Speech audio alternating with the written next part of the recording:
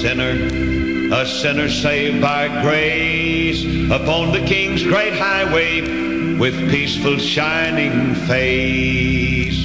Temptation sore beset him, but nothing could affright. He said the yoke is easy, the burden it is light. I saw him in the furnace, he doubted not nor feared, and in the flames beside him the Son of God appeared. I saw him overcoming through all the swelling strife until he crossed the threshold of God's eternal life. Then palms of victory, crowns of glory, palms of victory,